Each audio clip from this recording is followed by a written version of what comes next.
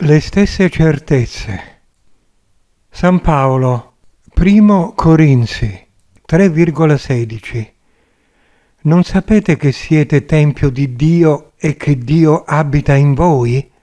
Ora, se qualcuno distrugge il tempio di Dio, Dio distruggerà lui, perché il tempio di Dio è santo e questo tempio siete voi. Commento. Gli evoluti di tutti i tempi comunicano le stesse certezze.